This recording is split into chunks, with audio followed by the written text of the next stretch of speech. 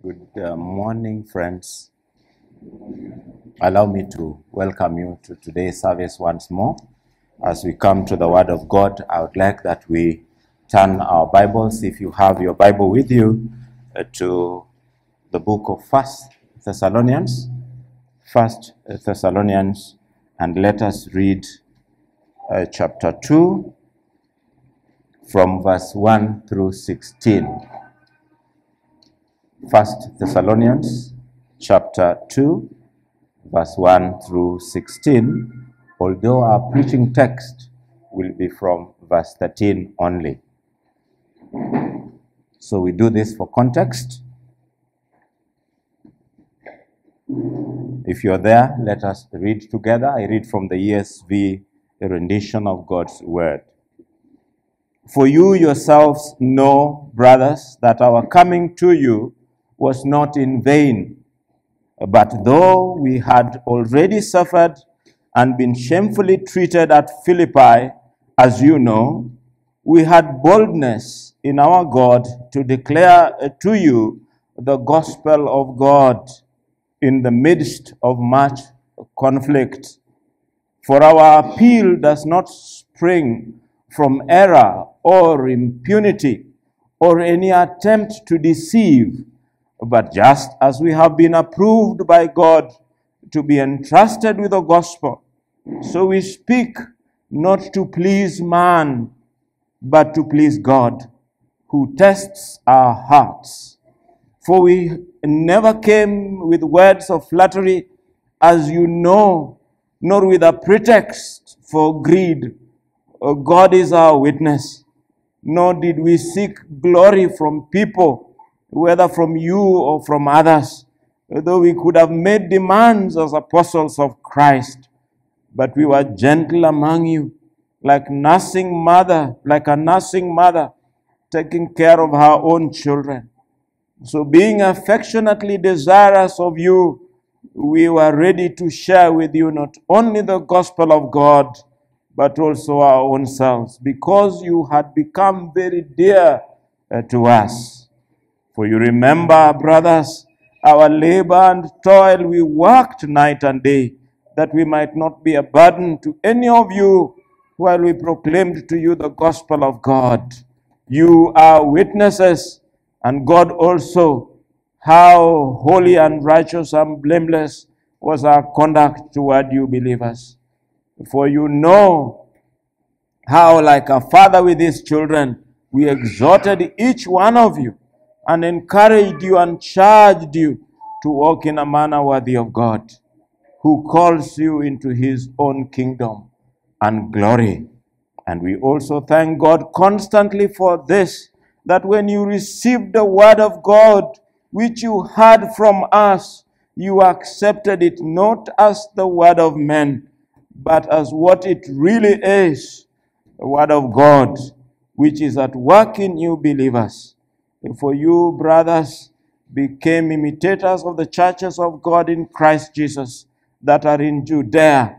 For you suffered the same things uh, from your own countrymen as they did from the Jews, who killed both the Lord Jesus and the prophets, and drove us out, and displeased God and opposed all mankind by hindering us from speaking to the Gentiles that they might be saved.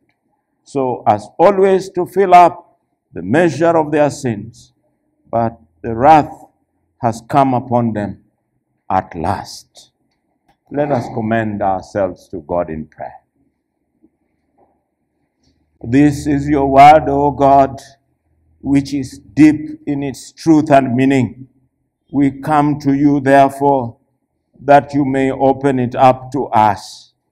As we do this, Lord, we are thankful that your people here have just now worshipped you in their giving.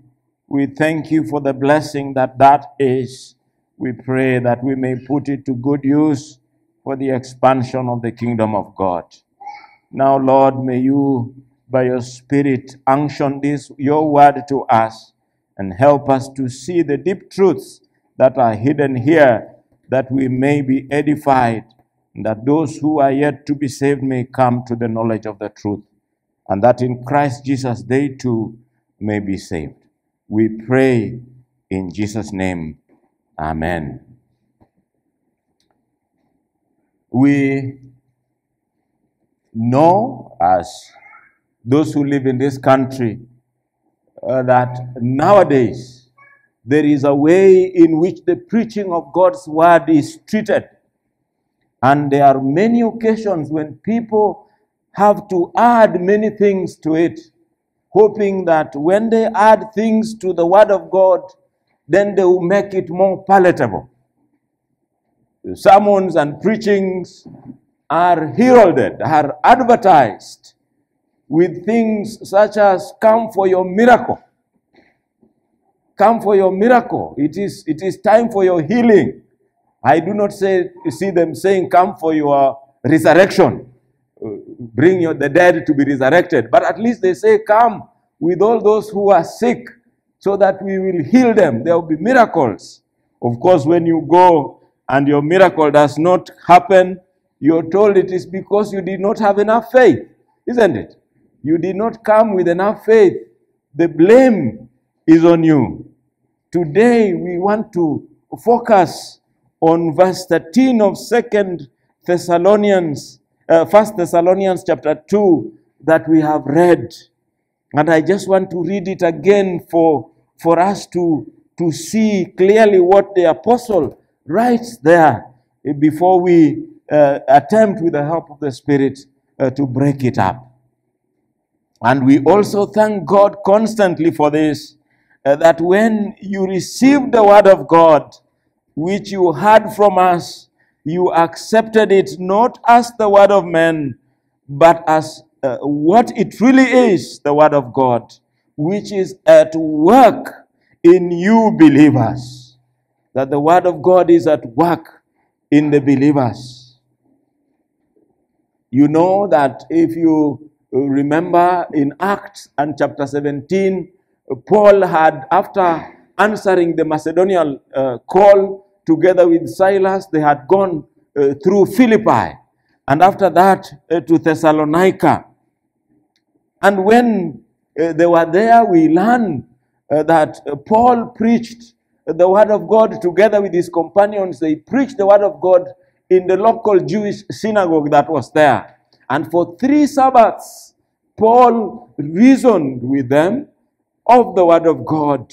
He spoke of the Lord Jesus Christ and how the Lord Jesus Christ had been uh, arrested by men, how he had been crucified, that he had died and had been buried, and that he had risen again. He spoke with them, telling them that this Lord Jesus, who had been killed by the Jews, was actually the Messiah. That his death had been foretold, that he was the atonement, the sacrifice that God had given for sin. These men did not add many things to the gospel. They preached the gospel as it was. They did not try to flower it, to make it more appealing. They reasoned from the scriptures and the scriptures only. These faithful preachers of the word of God that is Paul and his companions, they were under attack for their preaching. They were attacked for their preaching. They were, they were chased out of Thessalonica. In fact, the gentleman who had housed them, a man called Jason, was beaten up for housing them. For they had brought a teaching that was strange to some people. But we know as we read uh, the scriptures that we had read uh, that uh, there are some people who believed. A few people believed in this gospel and they were saved.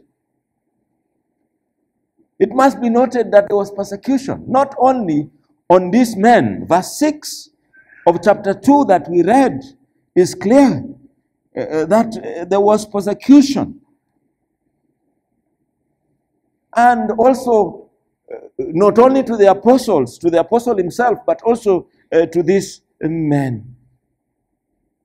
But the result of their labors is that the Spirit of God enables some people to believe. While others, obviously, those who are not elect unto salvation, rejected the word of God. They rejected the gospel. But it is clear as we read what we have read, and also as you read Acts 17, that uh, the apostles had very high regard uh, for the scriptures. And so uh, they, uh, they based their preaching on the scriptures, on the word of God alone. And so as we come to this point in verse 13 of chapter 2 of First Thessalonians, the apostle is writing now to affirm these things that they had preached and to affirm that they were in fact genuine preachers. That what they were preaching was the word of God, that they are not gone there to antagonize the Thessalonians. And he's also writing to assure these believers that their salvation, the effect of the word of God upon their lives, is genuine. Is genuine. So as we come, therefore, to this uh, part of the scriptures, we can only ask ourselves then, how should we approach the word of God? What is the attitude that with, with which we should approach the word of God? As those of us who preach from the pulpit, how should we approach the word of God? And what about you who sit in the pews? What is the attitude with which you should listen to the word of God? And so I pray that as we go through this text, we will be helped by the very word of God to see what kind of attitudes we should adopt. And so, first, the pulpit. The pulpit. We who preach, how should we approach uh, the Word of God? And I contend that the pulpit must highly regard the Word of God. We must highly regard the Word of God and not only highly regard it, we must attribute the fruitfulness of our labors uh, to God. When the message of God has been preached and there is fruit, we must give tribute to God. We must give glory to God. And the reason Paul and his companions, that is uh, Silas, uh, with whom he is writing this letter. The reason why they are thanking God constantly, for you see there he says, we, we also thank God constantly for this, is that the Thessalonians received the word of God which they had uh, from the apostles, and they accepted it as the word of God. The Thessalonians did not accept the word of God as the word of Paul. The word of God that we preach is not the word of the preacher, it is the word of God. It must be accepted as the word of God. When it is faithfully preached, the preacher must focus the minds of those who hear it to God. I told you as I was beginning about how preachings are advertised in our country and in many parts of this region. It is the man of God who is heralded. The, we are told it is the man of the mighty prophet is coming personally. So come, bring your people. And there are men and women who will say, Since it is the mighty prophet of God, I will go. If it was his assistant, I wouldn't go. But the mighty prophet of God. Oh, it is because they do not know that the preached word should be the word of God. That focus should be on God and His Word. That glory should be given to God for His Word. God has granted that His Word be preached to be received by those who are elect unto salvation. Isaiah, son of Amos, says that when the word of God is preached in chapter 55, verse 10 and 11, he says that when the word of God is sent out, it must accomplish what it's sent out for. Either it will convict some unto salvation, but to others who reject it, it will be judgment unto damnation. That is the word of God. It is not the word of man. So those of us who preach must have a high regard for it. We come with trembling and fear, knowing that we are handling the word of God. Lloyd Jones says that a man who preaches is like a man standing between God and sinners. Paul's view of the word of God clearly is that it is what moved the Thessalonians to believe. It is not his eloquence. Paul is not saying that we preached so well before you, that it was our style that made you to believe. The Thessalonians received and accepted the gospel despite opposition, despite opposition in their context. I have told you that the, the apostles were themselves hounded out of town. They were beaten up and chased away. Under those circumstances, it would have been very hard for people to believe. If the people who have been who have brought the message have been chased out of town, what about the people who are remaining behind? They would not believe. In any event, it must be remembered that these people were worshipping idols.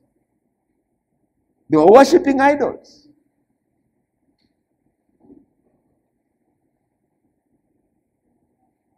So the only way they could have believed would have been that there was power in the Word of God. There was power in the Word of God. That is the only way they could have believed. We are told that the Thessalonians they received and accepted the gospel. And so Paul and his companions are thankful. They are thanking God that their preaching was not in vain, that it bore tangible fruit in the heart of the hearers, and that there was real spiritual and moral transformation in the lives of the people to whom they were preaching.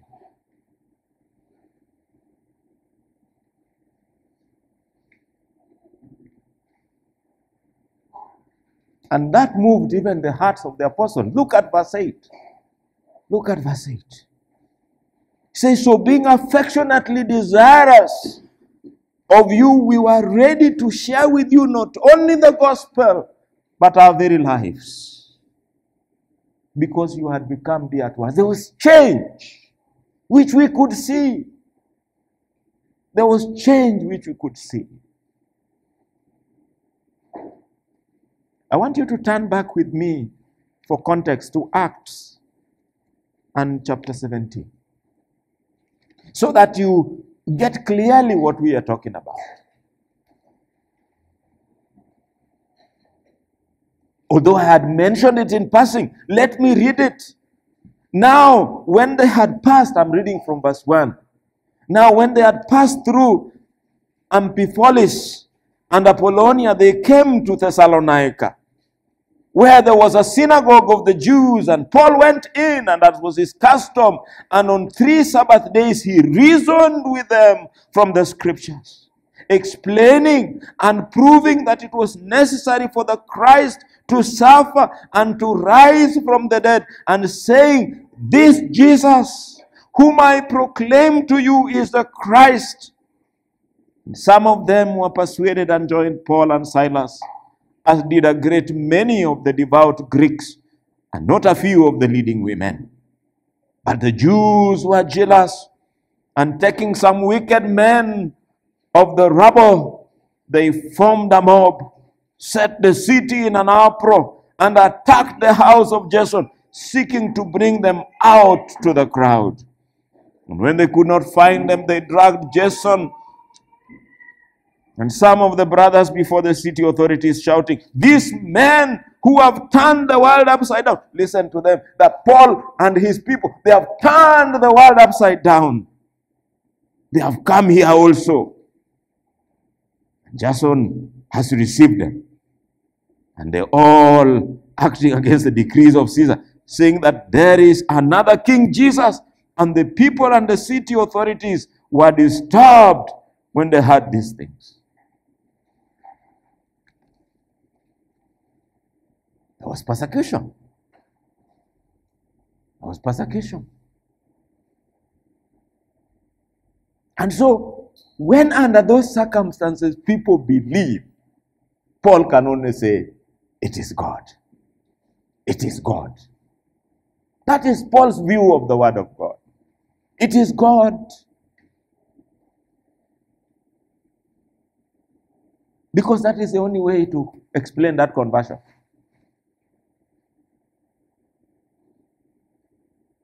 And they are cognizant that it is the Holy Spirit that has convicted the hearts of men. You remember in Acts chapter 16 how also in a similar manner the word of God was preached. Acts chapter 16 and verse 14.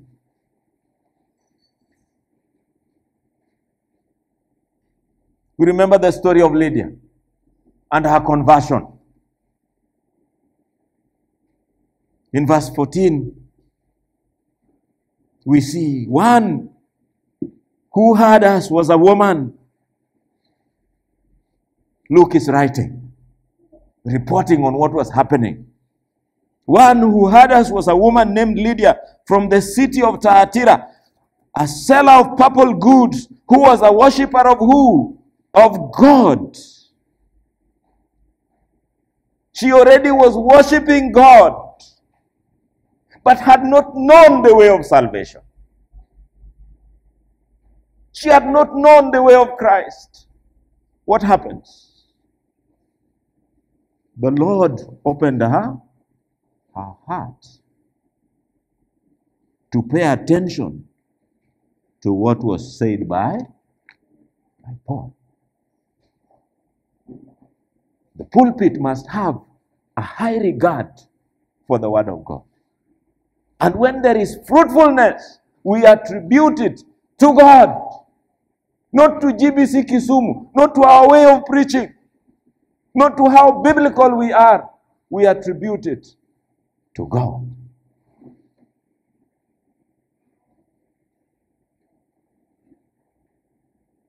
We cannot take any credit for any fruit borne by the message of the gospel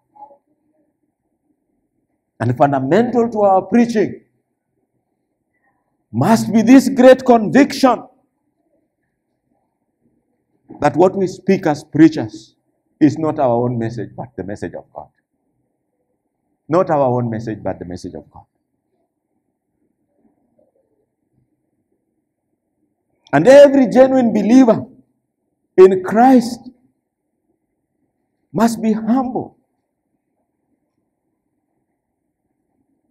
since their salvation is wrought into their lives by God. By God. Not by some mighty prophet of God, by God.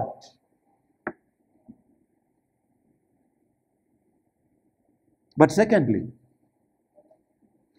what is the view, what is the attitude that you, as the people who sit in the pews, should have as you approach the Word of God? Look at that text again.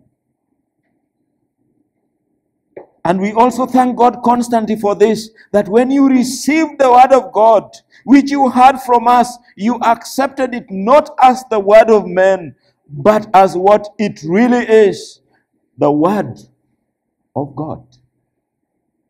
The word of God. The pew the hearers, the congregation who sit to listen, must humbly receive this word of God and accept it as a faithful message of God, that it is the very word of God. You must be convinced in your heart that this is the Word of God.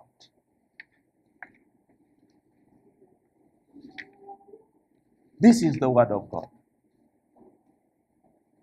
And so that you must humbly come to listen to the Word of God.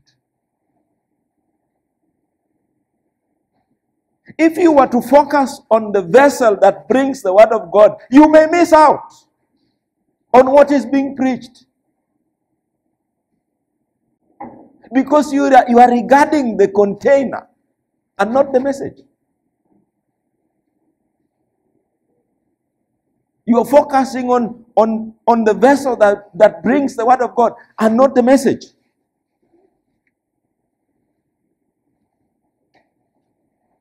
Because although Paul and Silas and his companions were mere men, clearly they had been approved by God to bring his word. That is what we see in verse 4.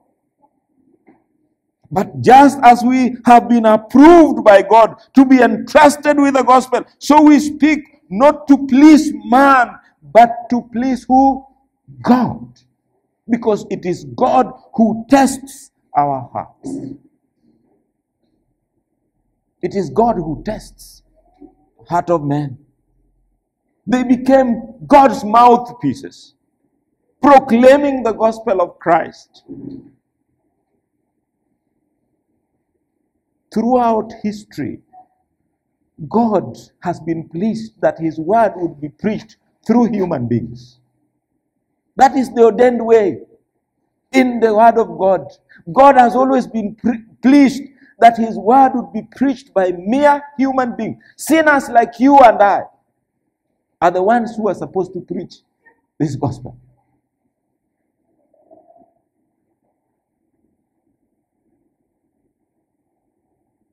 And for these reasons, and on the basis of this reason alone, hearers of the word of God must receive and accept the message of such faithful preachers, faithful servants of Christ, as the very word of God.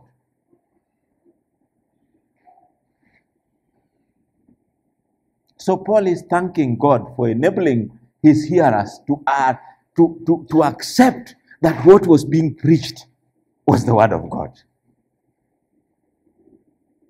You see, it is God through his spirit that enabled Lydia's heart to be open, that she may realize that right here is the word of God being preached to me. This is Christ being brought to me. As you sit in the pew, you must come with expectant hearts, knowing that you are going to listen to the word of God.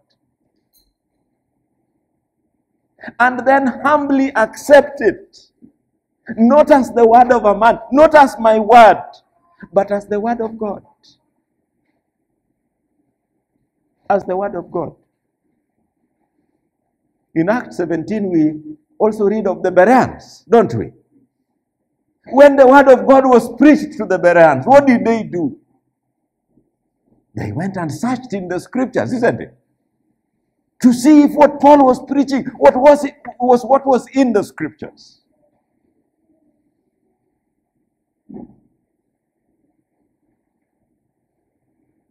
They wanted to confirm that this truly is the word of God so that then they can accept it. Is that your attitude? That the only question you would have as the word of God is preached is to the question to ascertain that it has been preached correctly. By going back to that very word of God, which providentially now all of us have.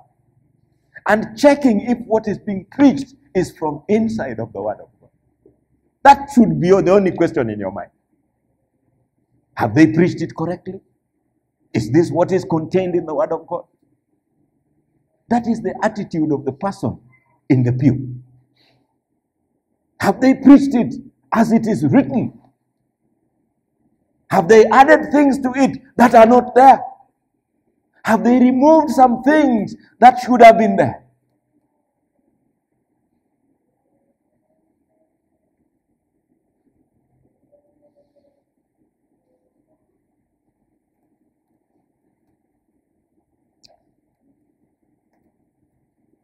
Turn with me to 1 Corinthians and chapter 1 and verse 18.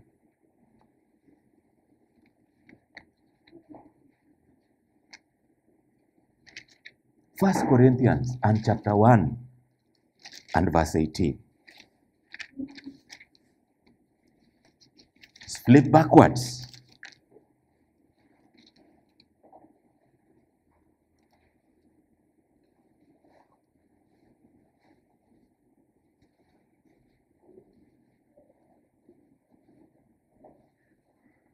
For the word of the cross is folly. In some versions, it will say foolishness to those who are perishing.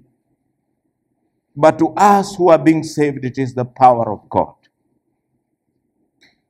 It is the power of God for those who are being saved. Turn again backwards to Romans. Flip backwards to Romans and chapter 1.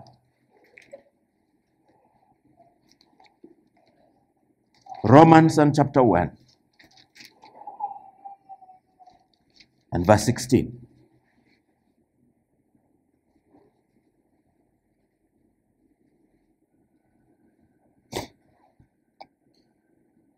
Paul speaking says, For I am not ashamed of the gospel, for it is the power of God for salvation to everyone who believes, to the Jew first, and also to the Greek.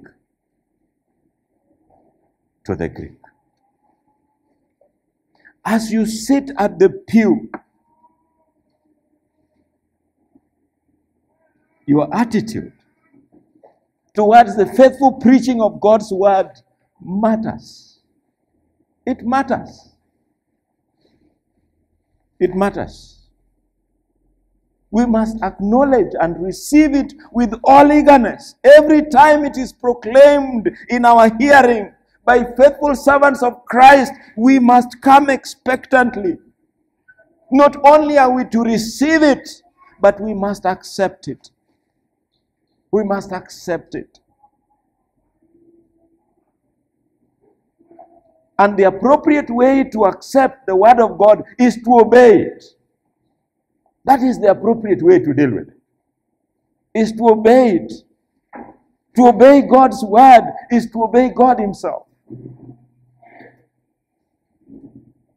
As we sit listening to God's word being preached, friends, do we realize the tremendous presence of God's word with us? Do we realize that?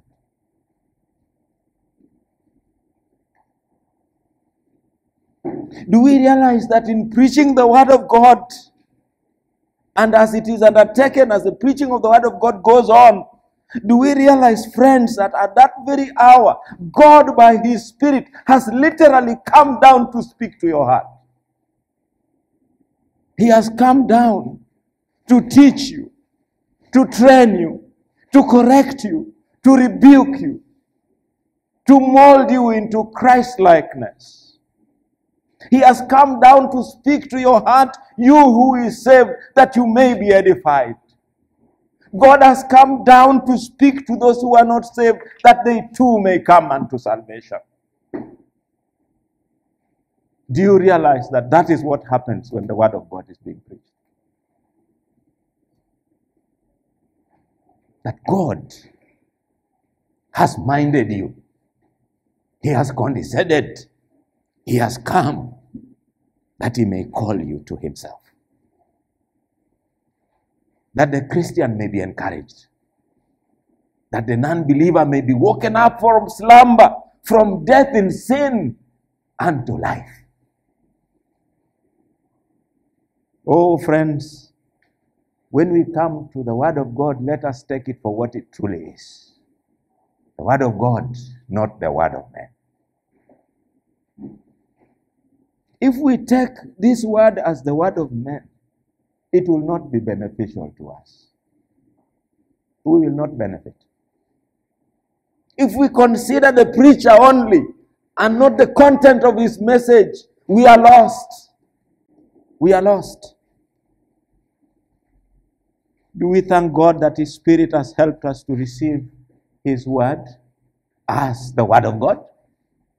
You who has been saved, like the Apostle Paul and his friends, do you ever sit back to thank God for enabling the Spirit of God to help you to realize that what you're hearing is actually the Word of God? To differentiate it from mere words of men. Many are lost in our day and age because they have not been given the grace to differentiate, the grace to discern the truth of the Word of God from mere words of men. Or do we thank? Do we think that our receiving and acceptance of this Word of God is because of any inherent ability on our own parts? So that we start thinking that we are better off because we are saved and that we, we must be just a little sharper than those who have not been saved. Oh no, we should come humbly, knowing that we are coming to listen to the Word of God and that it is God's Spirit which is enabling us. And that is why Paul is saying, and we also thank God constantly. We do not thank ourselves. We do not thank you. We thank God constantly for this. That when you received the word of God, which you had from us, you accepted it, not as the word of man, but what it really is the word of God. The word of God.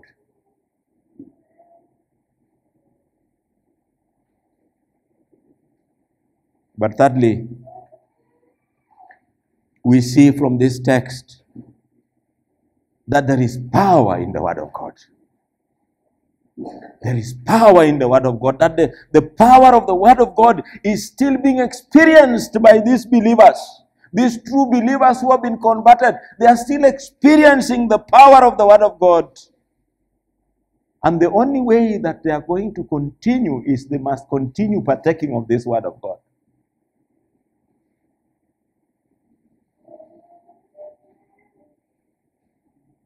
Because look how Paul puts it. And we also thank God constantly for this that when you received, which was in the past, the word of God, which you heard from us, which was in the past, you accepted it, which was in the past, not as the word of men, but as what it really is the word of God, which is at work in new believers. In other words, it is working now. You received it then, but it is working. It worked when you received it, but it is continuing to work. The only inference we can draw is that these men are continuing to partake of the Word of God. They are continuing in it.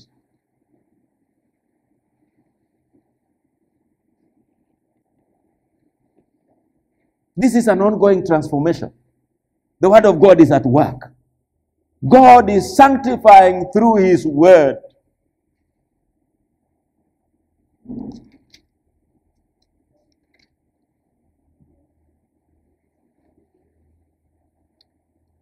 In that same First Thessalonians chapter 5, just flip ahead and see the prayer of Paul as he winds down his letter almost by way of benediction. And we read this every day as we do our benediction in this church. It says, Now may the God of peace himself sanctify you completely, and may your whole spirit and soul and body be kept blameless at the coming of the Lord Jesus Christ. He who calls you is faithful, he will surely do it. Friends, even after salvation, it is God who sanctifies. The word of God is what saves. It is what it has power to save, but it also has power to continue to sanctify the believer. Word of God. And the apostle is attributing that visible change that they can see in the lives of the converts to the power of the word of God that they had. That they received, that they welcomed.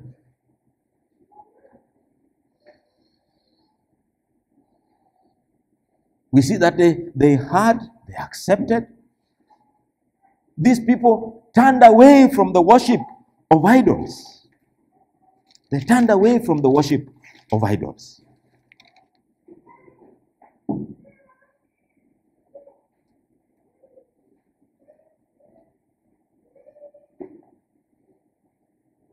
And decided to follow Christ. And that, as we have said, amid much affliction. It surely must be that the power of God was at work.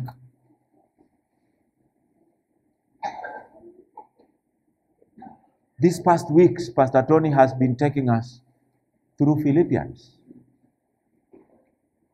And we saw how in chapter 1, verse 6, you just stand there. Turn to Philippians and chapter 1 and verse 6.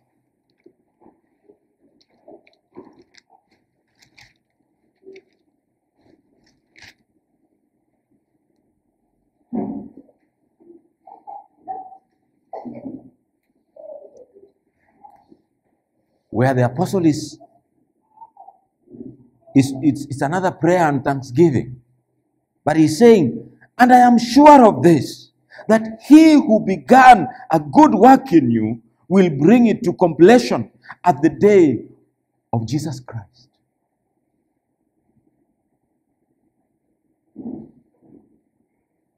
The Word of God has power to begin the work of salvation in our lives. And it has power to continue to sanctify us even unto the day of Christ, the Word of God. And even if it is amid much affliction, amid much difficulties that we may experience here and now on our earth, it is still able to bring to completion the work of salvation in our lives. The Word of God. It is efficacious. It is good. It is enough. It is sufficient. And it is effective. When it is properly preached and properly accepted as the Word of God, with the help of the Spirit of God, it is efficacious.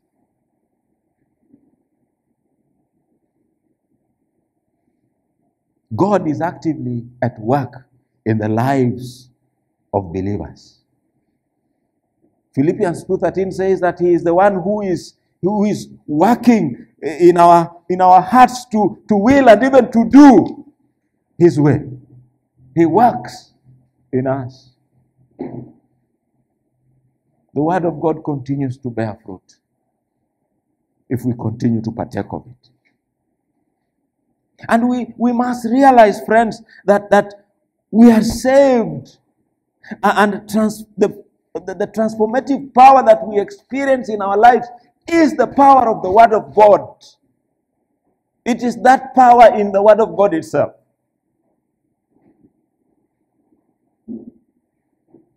The Word of God is, is worked by the Spirit of God. Hence, its power to transform lives. There are many whose lives have been transformed, and those who knew them before can hardly believe that they are the same people. Can hardly believe that they are the same people. They themselves look and reflect upon their own lives retrospectively, and they can barely believe that they are the same people. Why? Because of the power of the Word of God. When we welcome the word of God with obedient faith, the power of God is at work. But we must believe and continue to believe.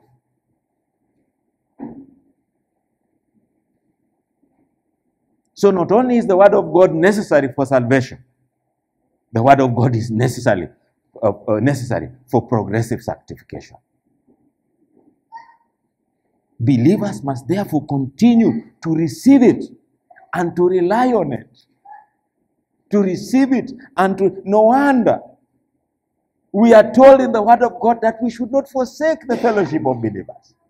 Deacon Amos was talking here in the morning about those means of grace prayer, fellowship, reading of God's Word.